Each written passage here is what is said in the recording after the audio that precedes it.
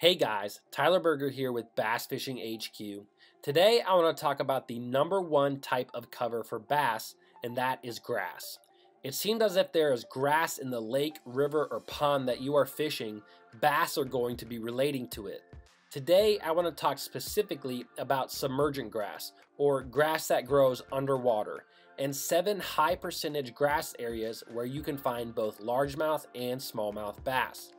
Whether you are a bank fisherman or you have been fishing tournaments for your entire life, this video will help you locate bass in areas of grass that can be overwhelming. This video is also a part of a grass fishing masterclass I created several weeks ago, and I will link that at the end of this video.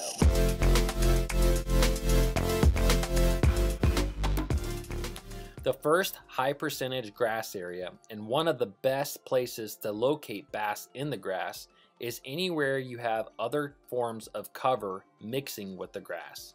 For example, if you can find big rocks or boulders that mix with milfoil grass, this is a prime area to flip. These rocks will usually create holes in the grass and attract food like crawfish, which in turn attract bass. Not only do rocks mixed with grass attract bass, but wood mixed with grass will do the same thing. Sometimes you will find laydowns or brush piles that are right on the edge of grass lines. Again, this is another high percentage area where bass can be located and caught. Although I'm mainly talking about submergent grass in this video, it's important to note that anywhere you find docks mixed with grass, especially milfoil, can be a dynamite place to catch bass throughout the spring, summer, and fall. The docks will create a hole in the grass under the dock since grass can't grow without sunlight. The bass will position themselves in these holes and in the shade lines. This brings me to my next high percentage grass area, which are holes. Finding holes in the grass is an extremely overlooked pattern to catching a whole lot of bass. Pun intended. The reason this goes overlooked is because it is one of the hardest things to find when you are fishing grass, especially when you're talking about submergent grass that you can't see. Finding these grass holes can require a lot of time idling before you find productive holes, but once you find these holes, they can be absolutely stacked with bass. Holes in the grass can also be referred to as bare spots in the grass. These holes basically act as giant dinner plates for bass to feed. It is a place where bass can ambush prey that is passing through the hole. A hole in the grass can also indicate a change in bottom composition, which is typically why the hole is created in the first place. Sometimes you will find a hard bottom in these holes, which can be dynamite when it comes to bass fishing. In 2019, we saw Buddy Gross win a FLW tournament targeting a big hole in a hydrilla bed on the south end of Lake Toho.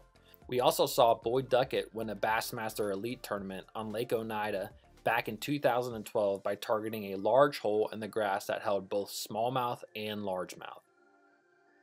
The third high percentage grass area is a grass edge or a grass line. An edge to the grass, no matter where it's located, can be one of the most popular places to find bass. This could be an inside grass line during the spring or maybe an outside grass line during the summer. An edge is a perfect place for bass to ambush prey that is swimming by, and it also offers protection for both bass and other fish species from other predators. Although this is an extremely popular way to catch bass in grass, it is also one of the most consistent ways to catch bass. If you can find a hard grass line that ends and creates almost a wall of grass, it's going to be a great place to catch bass. In 2019, I placed fourth in a Bassmaster Open on Lake Chickamauga by targeting hydrilla grass lines during the post spawn. I used a big Texas rigged worm to catch 52 pounds in three days and win $13,000.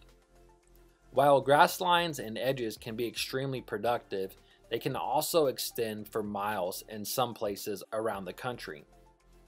So finding irregularities in grass lines is key to catching more bass. One of those irregularities include points in the grass. A point in a grass line may be one of the best areas to find bass no matter what lake you're on and no matter what season you are fishing. We all know other types of points hold bass year round, and the same thing holds true for points that are made of grass. If you can find the right point, sometimes you can find mega wads of schools of bass relating to that point. Another type of irregularity in a grass line is a pocket. A pocket or an inside turn in the grass act as natural funnels where bass can chase bait fish, pin them, and feed on them. This is an irregularity just like a point, and just like a point, you can find large schools of bass relating to pockets in the grass. It's extremely important to focus on these irregularities in the grass so that you can spend more time catching and not just fishing. The fourth high percentage grass area is anywhere different types of grasses mix. For instance, you may be fishing a milfoil flat and all of a sudden there are a couple of clumps of coontail mixed in with the milfoil. For whatever reason, bass are extremely attracted to areas like this. Sometimes you will find eelgrass beds that have clumps of hydrilla on them. Again, this mix of grass is a great place to locate bass. You hear it over and over again when professional fishermen find a mix of grass, they also seem to find a load of bass. The fifth high percentage grass area is basically structure features that are in the grass.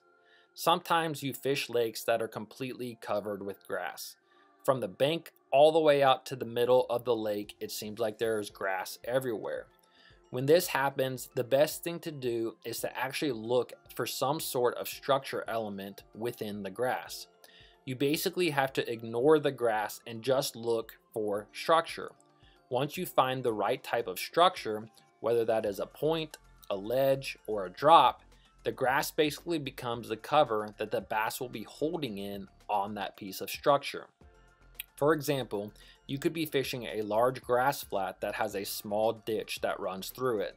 The ditch does not have to be a huge drop, it can simply be a one or two foot drop and that is where you're going to find most of your bass on that flat. This happens a lot in natural lakes in the north and the south that have very limited structure features. Small dips and drops in the grass can be a key for locating giant schools of both largemouth and smallmouth bass. On the contrary, the sixth high percentage grass area is single clumps or isolated clumps. It seems as though the lakes that have a lot of grass, the best places to find bass are holes and drops in the grass. On lakes that don't have a lot of grass, you want to find single clumps or isolated clumps of grass. This is just something different for bass to relate to, and it can attract big schools of bass in a very small area. These isolated grass clumps can be located anywhere, and you can catch big bass on isolated pieces of cover. The seventh high percentage grass area is grass mats.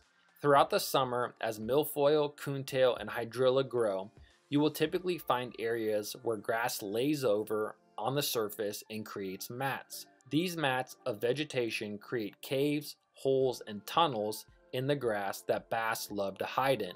To get to these bass, you typically have to use a heavy weight, upwards of an ounce and a half, to punch through the grass and get to where the bass are hiding. This can be a difficult technique to learn, but it is one of the best ways to catch big bass.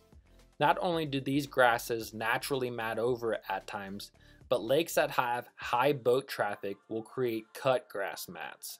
This is basically grass that has been cut off by boat propellers and has floated to the shoreline where it collects in certain slackwater areas. These places where these mats form can change from year to year, but they always seem to hold bass.